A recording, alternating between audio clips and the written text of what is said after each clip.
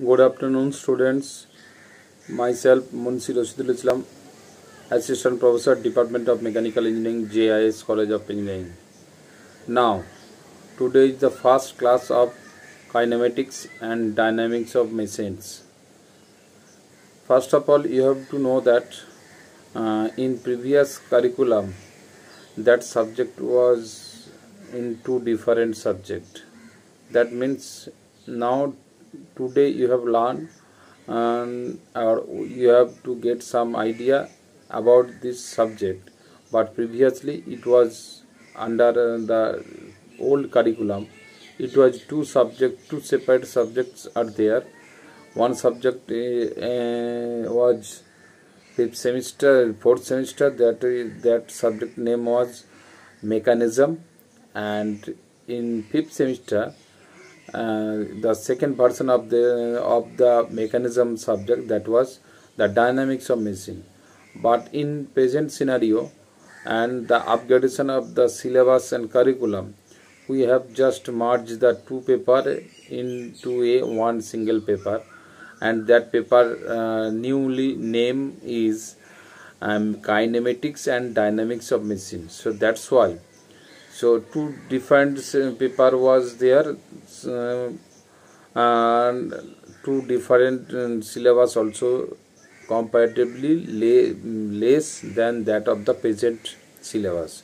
So that's why the present syllabus is too much vast syllabus because two paper are combined in one single paper. So so let's um, start about this subject first the kinematics and dynamics of machine. So totally we have to concentrate so uh, on the theory of machines. Previously name was theory of machines and mechanism. So first of all what is theory of machines and how it can be um, defined in terms of the paper related point? So first of all theory of machines that is actually a machines or a mechanism which is actually applied to the science that is used to the understand the relationship between the two uh, between the geometry and the motion of the parts of the machine or any mechanism for the force that must be uh, produced for the motion.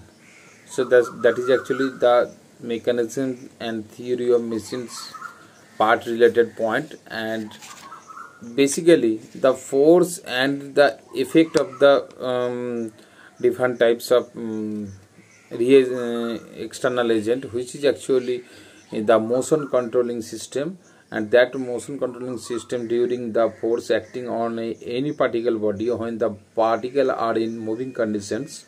So on that situation something should be happen and that uh, point to be noted as a mechanism and that mechanism point is the main point of the uh, today's topic. So now let us see what is actually the case. That means uh, if you all consider now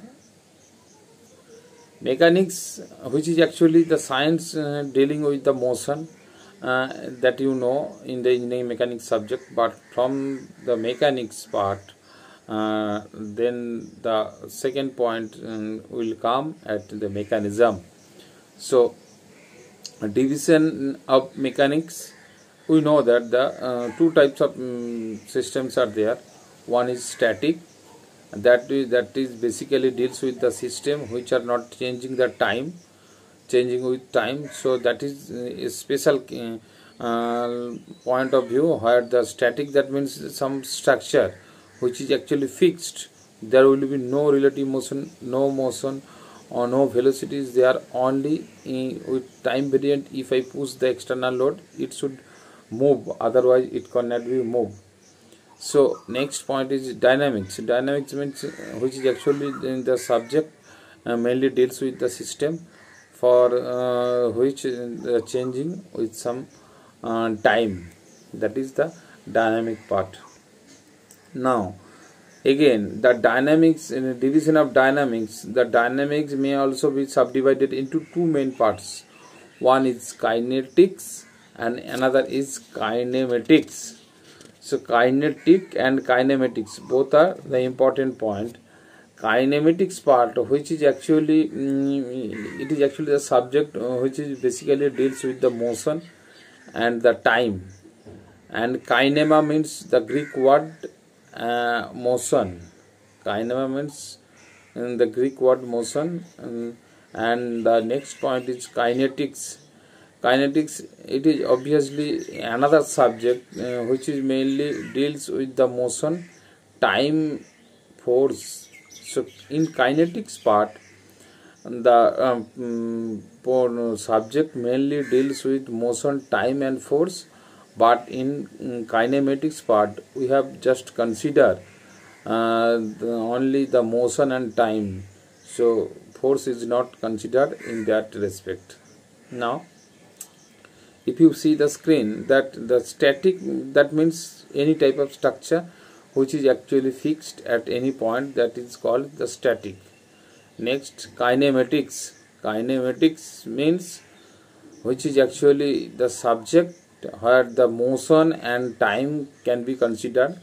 Force is not uh, not necessary for that cases and the example of the kinematics is actually the mechanism and next point is kinetics kinetics simple example is where force is required time also a one important point and motion also be there. That means the machine is a simple example of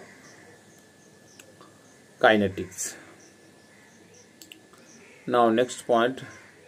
Some definition that you have to we know because uh, that subject mainly deals with the some machine mechanism component and also the relative motions that should be um, counted in each and every point of this subject because the dynamics part also be engaged here. So first is what is machine? That machine means a device which is actually used to transfer or transform energy to do some useful work. So a device mainly any type of device that is mainly used to transfer or transform the energy to do some useful work and that is called a machine. And mechanism. And mechanism means that is actually a device to transfer or transform the given input and convert into a some specific output motion. And that is the that the phenomena is called as a mechanism so machine is a unit and constant um, portion and that i visible that i uh, saw the actual cases how it can be performed. But mechanism that means the internal matter which is actually transform and transform phase. Mm, when we put some input and give some specific output but we cannot feel the mechanism cannot feel the phenomena. Next, the structure. Structure that is a single body that has no relative motion or the combination of bodies with no relative motion. So just like structure is a fixed member which have no mm, deflection, no motion and no any other combination of motion. So that type of um, body is called as a structure. Now the classifications of mechanism. Now the classifications of mechanism according to the based on the nature of the output speeds. According to the nature of the output speed, the um, mechanism can divided into uh, two different parts. One is uniform motion mechanism and another is non-uniform motion mechanism. Now, if I consider, if I consider uniform motion mechanism, that means suppose suppose some one cases are there where that um, some uh, machines can perform in such cases um, mainly uh, deals with some point of view where the different uh, useful work. If i putting the input uh, we can get some output with uh, some uniform um, with some uniform motion. And that type of mechanism is called the uniform mechanism. Non-uniform non-uniform means in some certain interval uh, that means the time variant is very very important and in that cases that cases that means the uniformity is not necessary. And suppose some time gap is variable. That means after if i putting the value if i putting any type of input on a machine the machine can perform uh, in such cases that the variable that the output variable cannot be get with some fixed interval. We some get suppose first uh, input we can get after 5 seconds and again the next output come with after 3 seconds that means the time variable is not necessary maintained in these um, cases. So that's why uh, the non-uniform motions mechanism and the uniform motion mechanism both can be um, performed with respect to some time. And time is very very important in this type of mechanism now the equal displacement for equal time interval that is the simple example of uniform motion and the uh, examples will all gear drives all chain drives and belt drives without feel uh, without slip. That means suppose if i putting any input in gear drives that means uh, in gear drive cases or chain drive all the types is actually called as a drive. And belt drive belt drive with slip that means um, in gear drive no chance of slipping. In chain drive slipping chance slightly have there.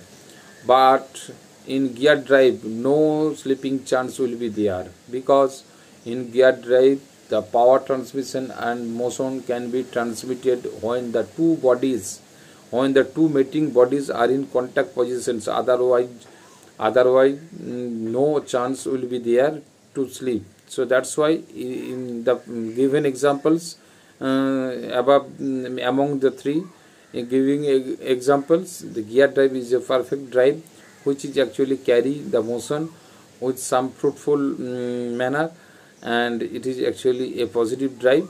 Otherwise the other um, the belt drive and chain drive is not properly used with a maximum output that means the uniform motion cannot be get uh, in belt drive or chain drive. Now next these are the simple example. Uh, suppose a different type of gear. Uh, first one is spur gear where the driver and driven member are also engaged. Next bevel gear worm gear rack and pinion and also spiral gear. So these are the different types of gear which are actually used for the purpose of the um, purpose that showing to the uniform motion transmission uh, from the um, driver to driven member. That means if i put the input we can get some output with a uniform um, motion another point of view where the spur gear where rack and pinion also be connected. And the motion of a uniform um, um, mechanism can also seen here. That is also a gear train where, where the uh, first gear and fourth gear are also coaxial and the second and third gear uh, are also in same same shaft. That means they we we can explain that that type of gear is called as a reverted gear train. And in reverted gear train we know that the second and third gear are also in same shaft but first gear and fourth gear are also coaxial. And that also a important point uh, of reverted gear mechanism. And uh, the uniform um, gear mechanism and that is actually collected from the um, um, uh, from the Tata McGraw-Hill mm, book by the um, design of a machine element design of machine elements now that is the chain drive and belt drive. Non-uniform motion um, mechanism the simple example because these are the three view chain drive belt drive and belt drive with a idler. Third view is belt drive with a idler.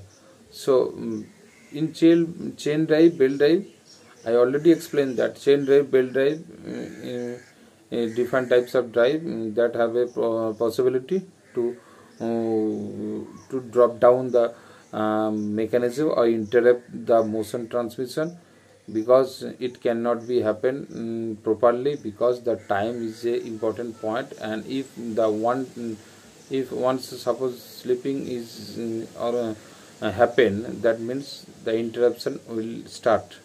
So that's why it is called non-uniform mechanism and these are the simple example of non-uniform mechanism non-uniform unequal displacement for equal, uh, equal time interval simple example uh, linkage mechanism cam mechanism and geneva wheel uh, these are the another example of uh, um, geneva mechanism uh, cam mechanism and also a linkage mechanism and here the important point is actually the time variable and time constant is not necessarily properly maintained in this regard. And this is actually the cam profile um, uh, which is actually collected from uh, the Tata McGraw book um, and suppose some points are to be noted here and that is basically a cam which is actually rotated and with uh, followed by a follower. And that follower here we seen in green color and that type of follower mainly in, used here. That is the flat face follower and in flat face follower uh, give the cam rotate and give some motion to the follower and follower move on in reciprocating uh, or the to and fro motions. Another type of example where we use the different types of uh, motion that can be transmitted from one system to another system with some specific zone. And now uh, for today's class we have to concentrate about the different types of um, machine mechanism and different types of uh, uniform motion mechanism, non-uniform motion mechanism, uh, structure, uh, static part, dynamic part, and kinematics, and kine kinetics, etc., etc. So all the points can be uh, treated as just like introductory part or introductory class of today's class. Now next day we have discussed with a new point and also a new topic. Thank you